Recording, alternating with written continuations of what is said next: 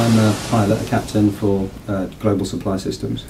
And um, we are an airline which provides um, aircraft crew maintenance and insurance for customers.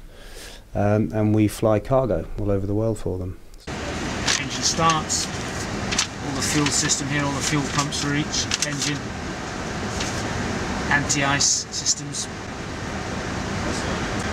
and then the sort of air conditioning packs. But we do all sorts. So we'll, today, for example, I'm flying to Frankfurt. Day after that, I'm flying to Dubai, and after that, um, position back to the UK. We generally do about three trips uh, per month, um, which will entail um, a sort of a week around. So you, you'll generally be away for five days, and then off for two or three, and you'll do three of those per month. We're expecting uh, to taxi out to runway uh, 04 via the outer um, taxi route, follow the other aircraft out there, anticipating full length of uh, runway 04. I got into flying by, um, I was, how old would I have been? About uh, 18, 19, um, when I first thought that would be a very cool thing to do. And, um, but it meant borrowing a fair bit of money from my dad to get me qualified. Uh, so that's the other thing. You either need to get an airline to sponsor you, uh, which are very rare these days. It's, um, there aren't many of those going around, or you have to have a sponsor. And back in when I did it in 1990, it was about forty thousand pounds for a full course.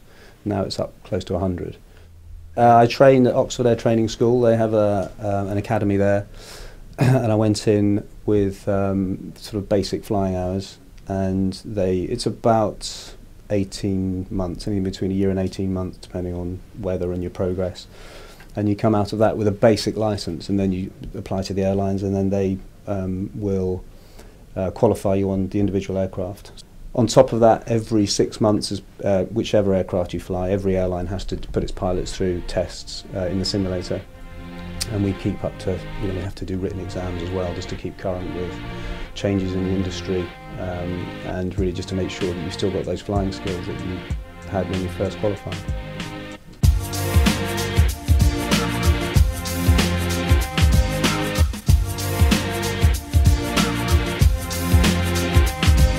This simulator is the uh, 747-400. Guys who are either training to be on the to fly the 747-400, or every six months, once you are trained on it, you have to come and uh, fly this simulator for around four hours. Three-dimensional, uh, three axes, so uh, the takeoff, landing, and all the movement is is very realistic. Jump in the simulator again for about another month and then go and fly it for real without actually having touched a real aeroplane with passengers in it. So it's that realistic.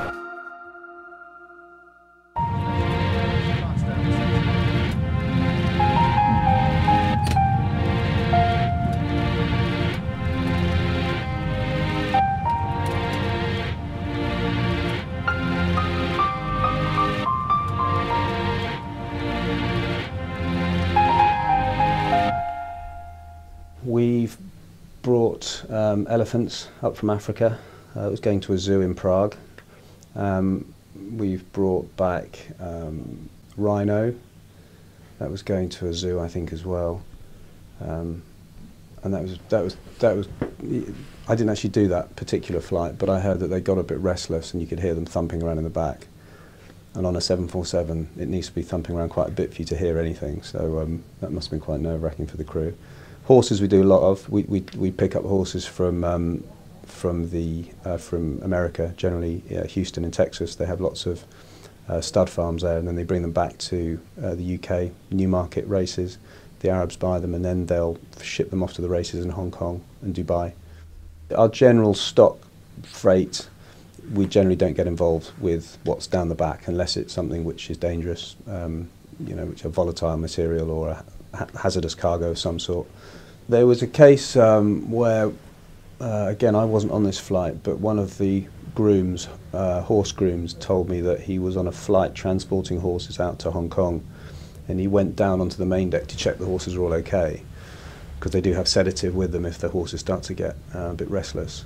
And um, one of the horses had managed to break out of its stall and it was walking up the side of the cabin towards him, so they sort of met in the middle. Not sure how he got around that one, whether he got it back on or just tied it up somewhere. But um, no, that's probably the that's probably the most exciting one I've heard. This is our this is this um, this is your primary flight display. So Okay. this, this is effectively the, the aircraft symbol. So as you can see, we're in a bank left turn. So this is also a bank left turn. This is the ground and this is the sky. It's brown and it's blue. So uh, we then have the navigation display, which is showing me my runway and where I am in space. So these little blobs mean there are hills out here, so I need to avoid them. Um, this is the runway, and I'm planning on coming back to this here, turning left past the runway, and then landing on it here. And we took off this way on this runway. Yeah. You'll see there's the runway there. We just took off on down there. You can see that through the. We're just turning left now. I'll, I'll go right overhead so you can see it. So there's the airport. we tend to operate um, sort of a, clan- a clandestine um, sort of lifestyle and, and um, existence where we, we operate, you know, in fairly unsociable hours. We generally don't go through the terminal. We'll go through a freight shed somewhere. And uh, so you, you, just generally don't get that feeling perhaps of glamour. You haven't got 17 cabin crew walking behind you as they do in the Virgin advert.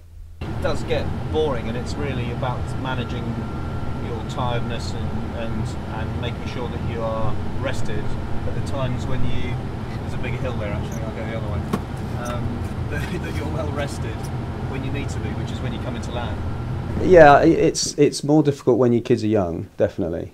Um, but now that my kids are older, um, it, it's it's still difficult, and it puts a lot of strain on on, on relationships. There's uh, an industry um, acronym, AIDS, which is, stands for Airline Induced Divorce Syndrome, and it's true. You speak to most, a lot of pilots in the industry, guys who are over 50 or into their 60s. Second or third marriage isn't uncommon. So it does put a lot of strain on any relationship. Um, I'd be lying if I said otherwise. So that shows you fire engine one. Okay. So the first thing we do is we silence the warning, and then you get the other guy to agree with you that you have indeed got a fire in your engine one. Right. It means you've got a light here and a light here and a light here. Once you confirm that, it's all about shutting it down and making sure you stop the fuel going into it. So we, what we do is we'd shut, we'd close that thrust lever, and shut that, and then we'd pull this handle, and that stops the fuel going in. And then we've got fire bottles, but just fly the aeroplane. We've got we've got the fire bottles uh, on on the engines themselves, which will fire into the engine and dissipate any fire. You hope. So we'd fire then shot one, and then you'd wait 45 seconds. If you still got the warning, then you fire shot two. It's one of those things that when you when you're involved in it, you, you realise it's just it's just being a glamorised taxi driver. Really, it's nothing you know too special because you're so heavily involved in it. You've done it all your life. Um, until you meet someone, perhaps you'll chat to someone who is fascinated by it, and, and then you think, oh, maybe yeah, I, I can sort of can see how other people look at it.